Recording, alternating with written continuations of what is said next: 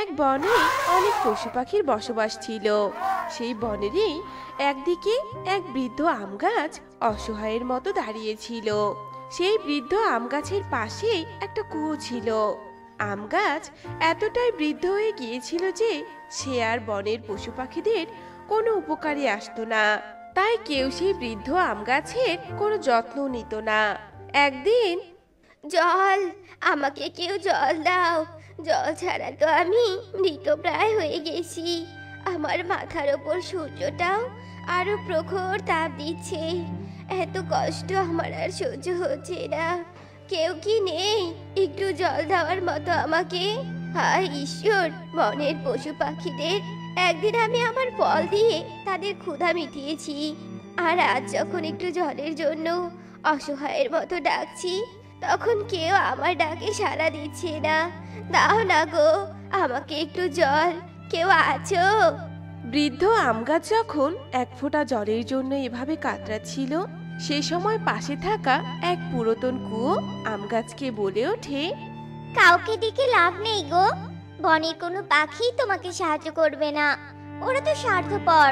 তোমাকে দেখে আমার বড্ড মায়া হচ্ছে গো। দেখো আমার ভিতর কত জল।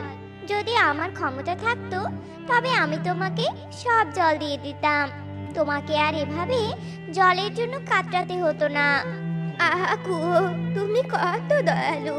তোমার সাহায্য করার ক্ষমতা নেই জেনেও তুমি আমাকে সাহায্য করতে চাচ্ছ। কিন্তু এই বনের পাখিদের সাহায্য করার ক্ষমতা আছে। তারা আমার দিকে ফিরেও তাকায় না।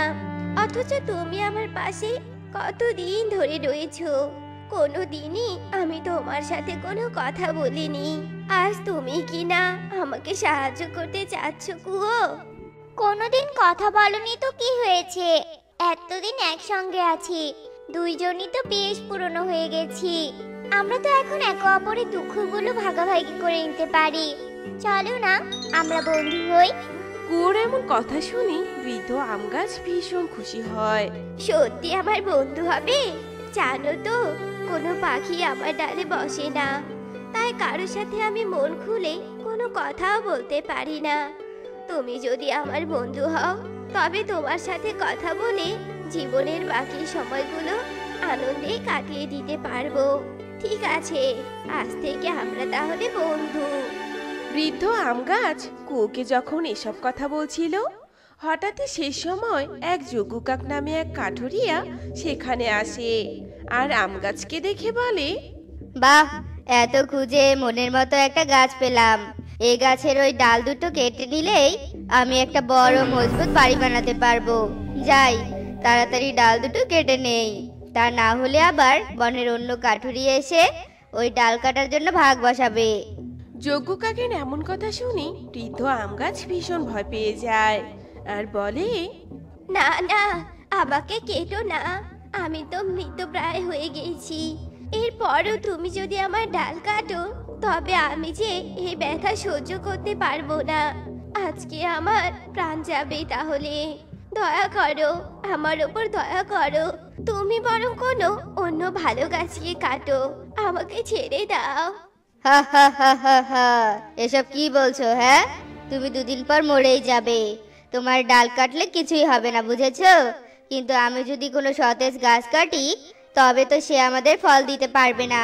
তুমি যেহেতু আর কোনো দিন ফলই দিতে পারবে না তাই তোমার ডালই আমি কাটবো। এ কথা বলে যজ্ঞ কাক বৃদ্ধ আম গাছের বড় বড় দুটো ডাল কেটে নেয় আর সে ডাল নিয়ে সেখান থেকে চলে যায়। এদিকে বৃদ্ধ আম গাছ ব্যথায় কাতরাতে থাকে তা দেখে কুয়ো বলে ওঠে বন্ধু তোমার বুঝি খুব কষ্ট হচ্ছে? তোমার এই কষ্ট আমি আর সহ্য করতে পারছি না। ধৈর্য ধরো বন্ধু। একদিন দেখবে সব ঠিক হয়ে যাবে। তুমি খুব তাড়াতাড়ি সুস্থ হয়ে উঠবে। এভাবে বেশ কিছুদিন কেটে যায়।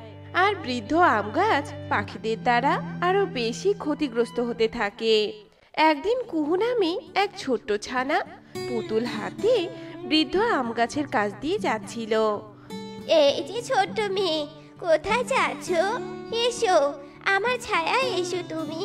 খেলতে খেলতে তো ক্লান্ত হয়ে পড়েছ। মুখটা বড্ড শুকিয়ে গেছে তোমার।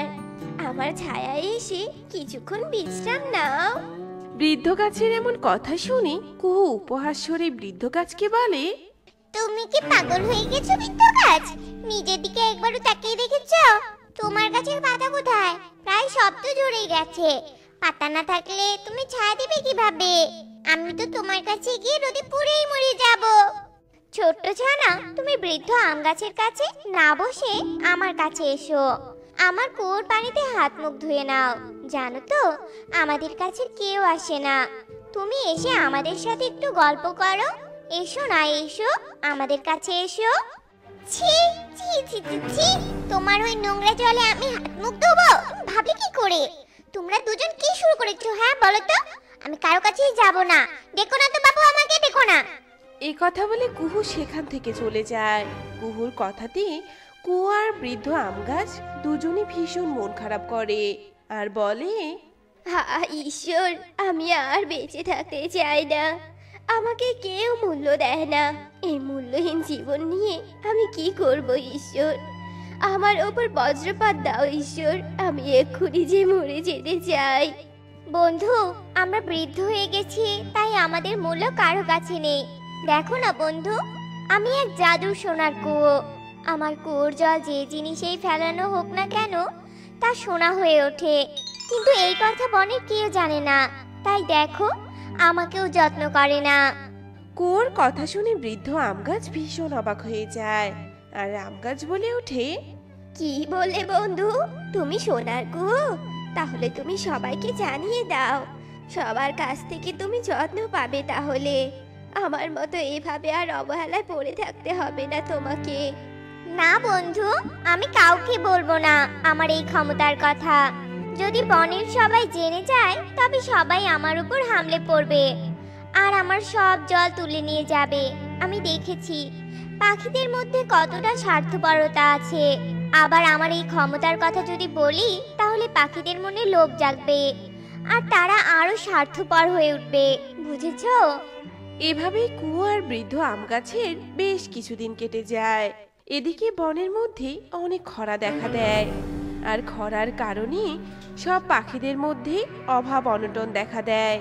বনের সব পাখিরা বনের মৃত গাছগুলো কেটে বাজারে বড় কাঠ ব্যবসায়ীদের কাছে বিক্রি করতে থাকে। একদিন বনের সব পাখিরা সেই বৃদ্ধ আম গাছের কাছে আসে আর বলে শোনো সবাই বনবাসী বনের সব বৃদ্ধ আর মৃত গাছ তো কাটা শেষ হয়ে গেছে। একমাত্র এই আম গাছটাই বাকি আছে। চলো সবাই এই আম গাছটা আমরা কেটে ভাগ করে নেই। চলো চলো তাড়াতাড়ি চলো। কেটো না আমার বন্ধুকে কেটো না ছেড়ে দাও ওকে। ও অনেক বৃদ্ধ দয়া করে আমার বন্ধুকে কেটো না। না, তা কিছুতেই হয় না। এই বৃদ্ধ গাছকে আমাদের কাটতেই হবে। তা না হলে আমরা টাকা পাবো কোথায় হ্যাঁ? আর কি খেয়ে বাঁচবো? শোনো বনে পাখিরা, আমার কুয়োর জল তোমরা তুলে নাও। আর আমার জল কোনো সাধারণ জল নয়। তোমরা আমার জলে যা স্পর্শ করবে, তাই সোনা হয়ে যাবে। এই সোনা দিয়ে তোমরা তোমাদের প্রয়োজন মেটাতে পারবে। কেননা আমি যে সোনার কুয়ো তোমরা আমার সব জল নিয়ে যাও। তবুও আমার বন্ধুকে কেটো না। কুয়োর এমন কথা শুনে বনের সব পাখিরা ভীষণ অবাক হয়। আর সবাই তাড়াতাড়ি করে কুয়োর জল তুলে নিতে থাকে। আর কুয়োর জল দিয়ে বনের পাখিরা সব জিনিস সোনা বানাতে থাকে। এদিকে কুয়োর সব জল তুলে নেওয়াতে কুয়ো শুকিয়ে যায়। আর কুয়ো মৃত কুয়োতে পরিণত হয়। এদিকে বৃদ্ধ আম গাছ তার জন্য বন্ধু কুয়োর বলিদান দেখে কাঁদতে কাঁদতে বলে বন্ধু তুমি এ কি করলে আমাকে বাঁচানোর জন্য? শেষে কিনা নিজের জল পাখিদের বিলিয়ে দিলে তোমার এই ঋণ আমি কি করে শোধ করব বন্ধু? এ কথা বলে বৃদ্ধ আম গাছ কাঁদতে থাকে। এভাবে কয়েকদিন কেটে যাওয়ার পর বনের মধ্যে ঝড় ওঠে আর বৃদ্ধ আম গাছটিও সেই ঝড়ের তাল সামলাতে না পেরে শিকড় উপড়ে পড়ে যায়, আর সেখানে মারা যায়। এভাবে বৃদ্ধ আম গাছ আর সোনার কোন জীবনের পরিসমাপ্তি ঘটে।